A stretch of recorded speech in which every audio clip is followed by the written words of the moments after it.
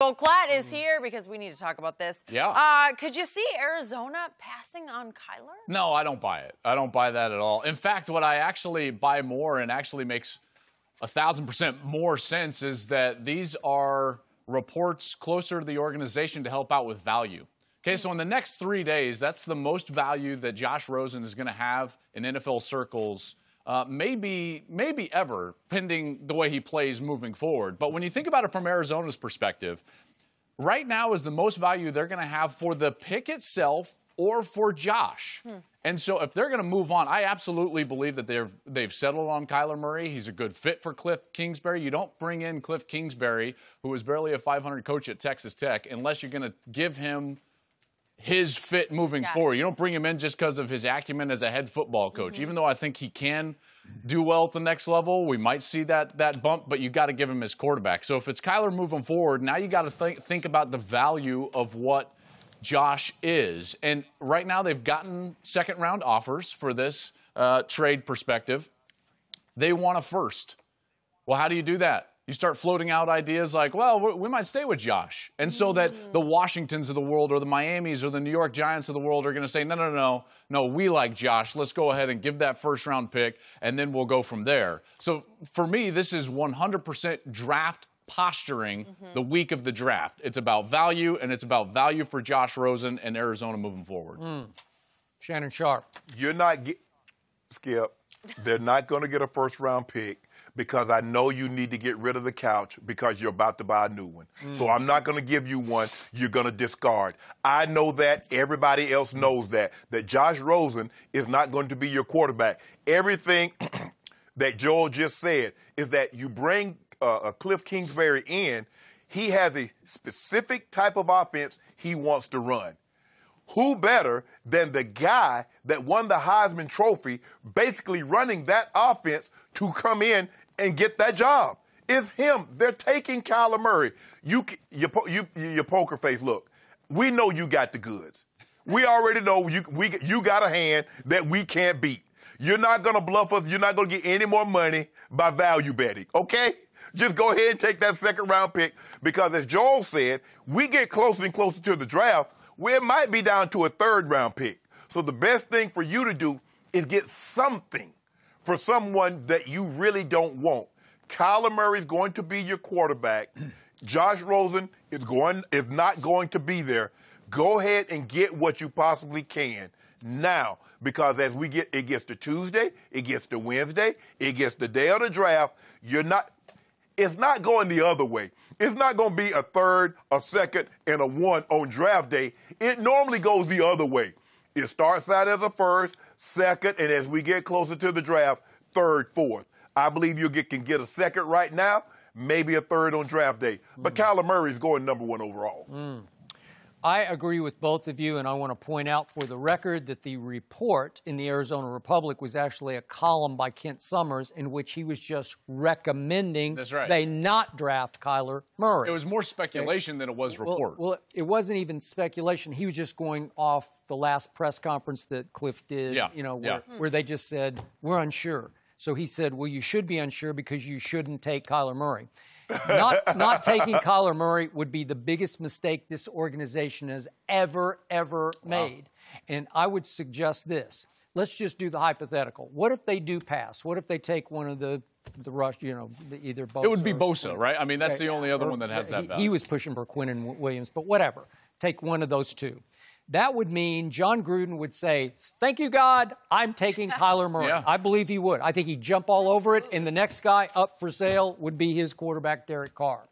So we were all in agreement on that, but now that brings us down to the sixth pick, and you're still hanging in with Dwayne Haskins going to. I am. My latest mock, I still have Dwayne Haskins going with New York, but I am not confident in that right really? now. I think that for me, that was more of a this is what I think they should do okay. versus what I'm hearing. Um, right now, my confidence level in New York making that pick is below 50%. Really? In fact, I think I'm getting towards – the the guys, and this is this is crazy because I think this could set this player up for for a really poor start to his NFL career.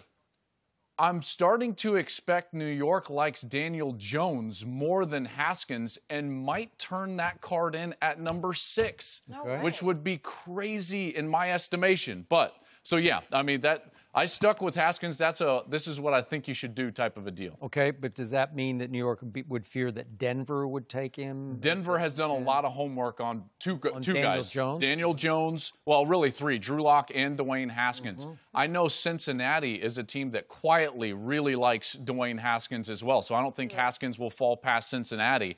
But Mm.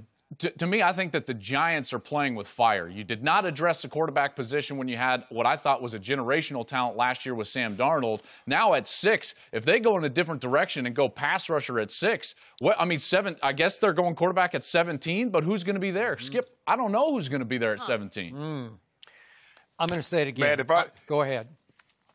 No, Skip. I was going to say if let's just say for the sake of argument, we do the hypotheticals here.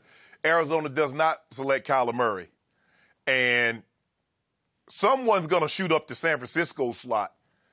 Maybe the Giants do that. Maybe they like Kyler. Do you think they, they could possibly like Kyler, give up that per, uh, the six and seventeen to get Kyler at two and swap uh, places with San Francisco?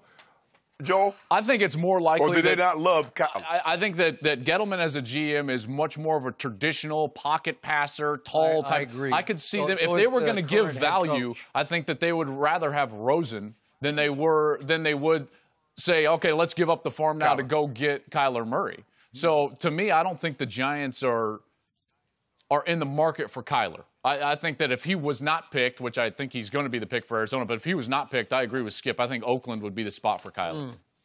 I'm going to say it one more time. I do not believe Dwayne Haskins is worthy of the sixth pick in the draft. So, New York, between rock and hard place, they desperately need a quarterback. But I think they're starting to think is this really the guy? Is this our franchise quarterback for the next 10, 12 years?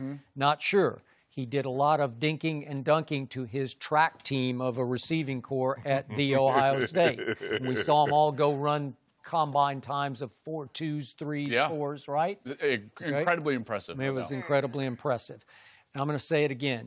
I don't love Daniel Jones. I don't love Drew Lock. I watch him a lot. I just watch TV. I don't watch coaches tape. But I did not see franchise quarterbacks in either. I think you're trying to read something in that is not there. Maybe it will be. Daniel Jones looks like he's got more athletic ability and maybe more upside. He's a bigger kid. And he's got the Cutcliffe connection got- with the Mannings, and I think I Is think, that is that you know, good or bad? Well, who knows, right? Uh, but I do know this: he's mechanically, he's probably the most most sound quarterback Yeah. in the draft. He's probably the safest pick. He can operate a system from the pocket. He can control the game from the pocket. I don't think he's a franchise guy. I, I agree with you. I think the Giants are stuck, which is why mm-hmm. I will always contend. And this is, you know, as as controversial as you can get. They made the wrong pick last year. Hmm. Saquon Barkley was the best player in the draft. The Giants made the wrong pick. Yeah. The- the bo- those two statements can both be true because guess what? You're still stuck in the same spot. What are you doing at quarterback? Shannon, they got to have a signal caller back there, or else Saquon's never going to have the value that he should have. Hmm. Because, but they're they're they're hell bent on Eli. Eli did something no one thought he could do, and they're going to let Eli ride those two Super Bowl wins hmm. over Tom Brady for perpetuity.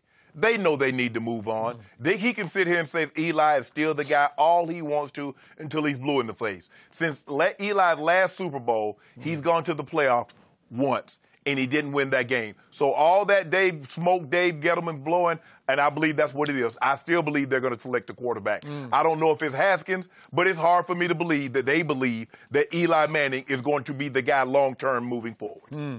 So finally, I got to take my man Joel to task for his final pick in the first round, Let's number 32 to the New England Patriots. Yeah. Because in his previous mock, he had my guy Will Grier Yes. going to be Yes, the next Tom. Brady, and all of a sudden he took Shannon's guy Irv Smith. That's what I did. Uh, did you have a little conversation off air? No, we did. We did not. We did not. But listen, when, when you when you look at you talked listen, Shannon, you just talked about the Giants riding with Eli in perpetuity. I mean, New England is riding with Tom in perpetuity. Now they probably are going to Yes. plan for the future a little bit better than what New York has, right? Because that's just what they do. Remember, they selected a quarterback uh, last year who was sitting there on the third string for them this year. I I just when you look at what New England has done with Rob Gronkowski. Irv Smith Jr. is not Rob Gronkowski, but they've got to address that. That's the major hole for Yep. New England is in the passing game at the tight end or the flex tight end mm-hmm. position. He's not the blocker that Gronkowski mm-hmm. is. He's not even the